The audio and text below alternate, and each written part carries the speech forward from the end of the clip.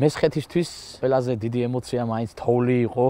ასეთი იუმორიც იყო, რომ თუ ქალაქიდან სოფელში ამოხვიდა და გაზაფხულამდე არც წასვლა არ გაწერა და ერთი ძველი ჯავახორკილოზე დაწერილი ლექსი გამახსენდა, ჩაწერილია სოფელ ბალანთაში და ყველაზე კარგად ასახავს როგორი ზამთარი იყო აქ. გამოვიკეტე ჯავახეთს ეს ლექსი გამახსენდა. ძრიენ მოთოვა ჯავახეთ, დიდრონი ფიფკი დასტვია, ჰანი შორს დამჩა ქალაქი, გაზაფხულამდე დამტვია.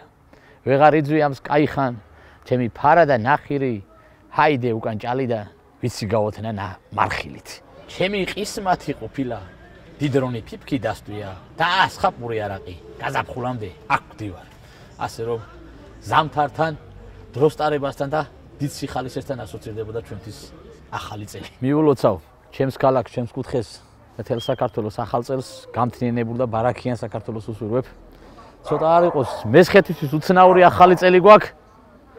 ყოველთვის ახალი წელი თორთან ასოცირდებოდა აფქართან, გიჟურზამთართან, გუნდაობასთან, ციგაობასთან და დღეს როგორც ხედავთ საკმაოდ მზიანი ამინდი დაგვდა.